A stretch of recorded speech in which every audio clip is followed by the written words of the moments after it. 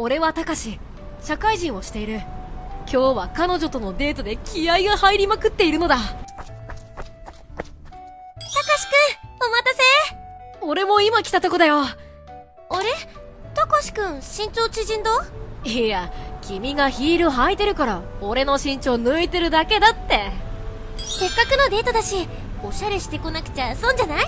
そのヒール履いてる時の身長って何センチあるの？うーん、155センチくらいかな。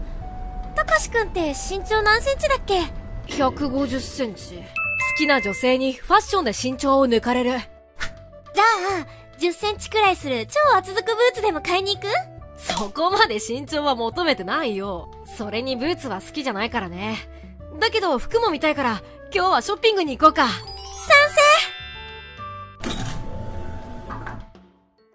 成お、この服いいじゃん。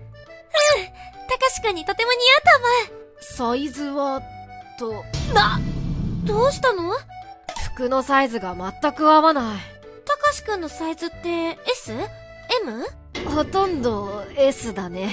俺はこの低身長で自分がしたいおしゃれができない。いつもこの大人用 S サイズか子供用の服で済んでしまうから選べる服が少ない。今だとオーバーサイズで着るのも流行ってるから、あえて M サイズとか着てみたら？そうだね。おしゃれをしたくてもサイズがない。あ、この服かっこいい。これでもうちょい大きいサイズを。えー、っと、M サイズ、M サイズ。あったって嘘だろたかしくんどうしたの？台を使っても服に手が届かないんだ。M サイズの服を台を使わないと届かないところに置いてあるって珍しいね。ああ、私もよくあることだから気にしない方がいいよ。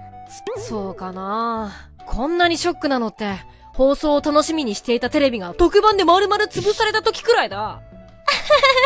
気持ちわかるよ。店員さん呼んでくるから撮ってもらおうよ。そうしよう。とほほ。高いところにあるものが届かない。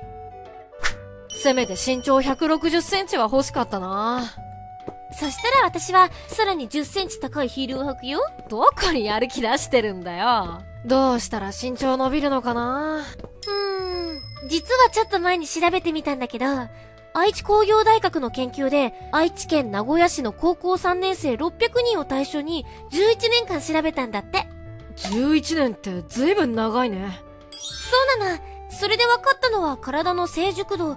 要は、体の発達が早いか遅いかが体に影響を与えている可能性があるみたいなの。それって、どういうことなの？男の子にも差はあるけど、毛が生え始める時期の早い遅いってあるじゃない？確かに。